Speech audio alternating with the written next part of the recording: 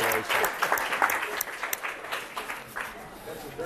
Meantime, Oh, there it is. You can see a better view. You can see that really is debris. And there's the horizon back there, um, the blue, bluish sky. Uh, um, that's part of the lander deck on the front left. Um, I can't take out, but it looks like there's not a lot of rocks in the field of view. But those dots you see there are very likely to be dust particles on the on the lens, the dust cover, The dust which will be removed. Uh, and we'll get another shot Yes. later on. Yes.